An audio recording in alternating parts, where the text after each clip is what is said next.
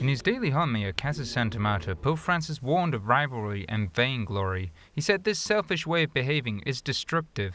È brutta la rivalità. Si può fare in un modo aperto, diretto, o si può fare con i guanti bianchi, ma sempre per distruggere l'altro e alzarmi io. E come io non posso essere così virtuoso, così buono, diminuisco l'altro così rimango sempre alto. La rivalità è una via a questo agire per interesse.